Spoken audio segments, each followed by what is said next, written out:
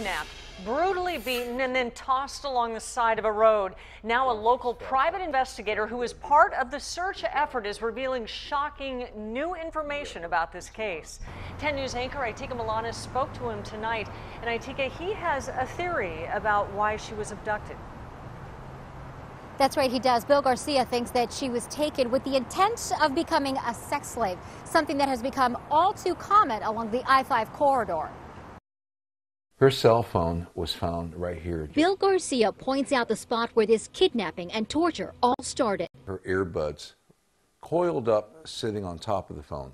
My suspicion is she got to this point, which is 1.1 miles from her house. She got to this point, took the headphones off, and maybe stretched. The San Diego private investigator has been part of several high profile cases.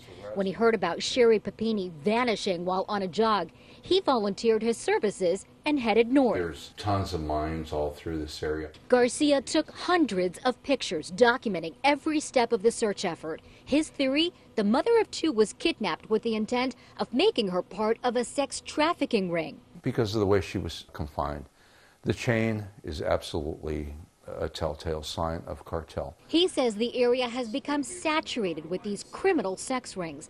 Although he was hopeful, he did not expect Papini to be found alive. I mean, look, 22 days is a long time for anyone to be found alive.